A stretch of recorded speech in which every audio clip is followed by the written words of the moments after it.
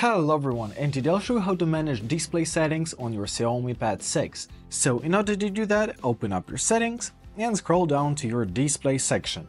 So here we'll see a lot of options. So first of all, Let's start with the first one. It allows us to choose between LED mode and dark mode. So to switch to the dark mode, simply tap on it and you will be immediately switched, right? Uh, this one is great for those who prefer night themes. Uh, you can even schedule uh, for when to enable dark mode, so it automatically activates at the right time.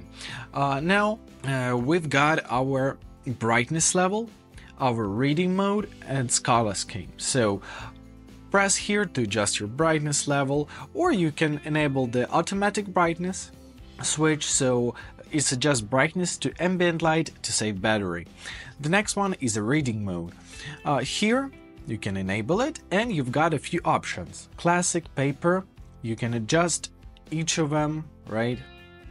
You can switch between them just, just like this. Reading mode adjusts colors and textures of the items on your screen, allowing your eyes to relax.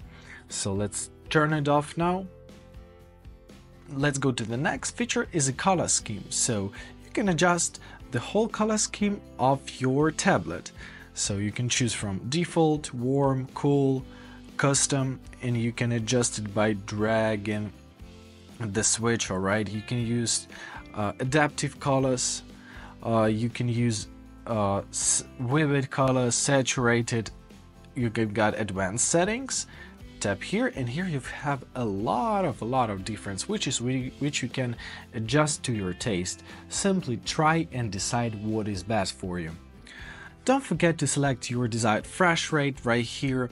You can set it on custom and choose between 60, 90 and 144 kHz or you simply can press uh, default and your tablet will automatically set up a refresh rate depending on the usage of your ERAM, alright? The next one is AI image engine. This is a really cool feature. So for more uh, vibrant content, you can simply turn it on and now uh, AI will automatically adjust our images. Or simply turn it off if you don't want this item alright? You can also squeeze or decrease the text size according to your needs. Right here at the font. So simply drag the switch back and forth adjusting your size alright and as a bonus, you can enable and disable auto screen rotation right here based on your preference. So to enable it, simply tap on it. To disable, tap on it as well. When it turns gray, it means it's off. And that's it. I hope this video was helpful. Thank you so much for watching and have a great day.